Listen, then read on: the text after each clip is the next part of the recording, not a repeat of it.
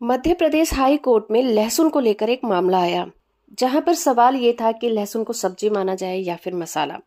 दोस्तों, क्या आपने भी कभी सोचा है कि लहसुन सब्ज़ी है या मसाला? खैर, ये किचन में खाना बनाने वाली महिलाएँ या फिर होटल के शेफ के लिए भी बता पाना थोड़ा मुश्किल हो सकता है। तो मध्य प्रदेश हाई कोर्ट में इसी बात को लेकर एक लंबी कानूनी लड़ाई चली, और अब हाई कोर्ट ने इस पर अपना फैसला सुनाया है और लहसन को कैटेगराइज किया है। और ये फैसला इस बात को भी प्रभावित करता है कि पूरे स्टेट में लहसुन किस तरह से बेचा जा सकता है। और किसानों को इस फैसले से काफ़ी राहत महसूस हुई है।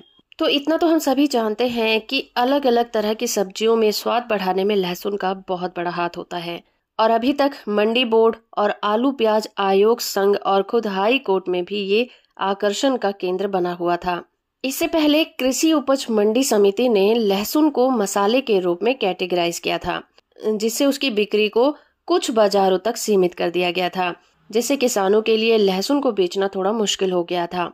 और तभी से ये मामला हाईलाइट हुआ, जब 2007 में मंदसौर में एक लहसुन व्यापारी ने मंडी बोर्ड से अपील की कि लहसुन को केवल सब्ज़ी मंडियों के बजाय कृषि उपज मंडियों में भी बेचा जाना चाहिए। इस दलील का आलू प्याज एसोसिएशन ने विरोध किया था।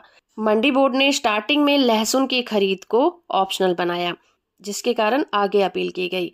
और इन अपीलों में सवाल उठाया गया कि मसालों के रूप में कैटेगराइज दूसरे कृषि उत्पादों को भी सब्ज़ी मंडियों में क्यों नहीं बेचा जा सकता?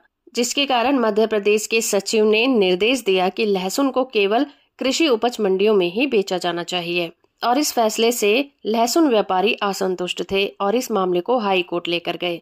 और आखिर में हाई कोर्ट ने अपना अहम फैसला सुनाते हुए ये कहा कि किसान अपनी पसंद के किसी भी बाज़ार में लहसुन बेचने के लिए स्वतंत्र हैं। और इसी फैसले को बाद में हाई कोर्ट की डबल बेंच ने भी बरकरार रखा, जिसने लहसुन को कृषि उत्पाद के रूप में स्वीकार किया और इस प्रणाली को भी खत्म किया कि उसकी बिक्री को सब्ज़ी मंडी तक ही सीमित रखना चाहिए।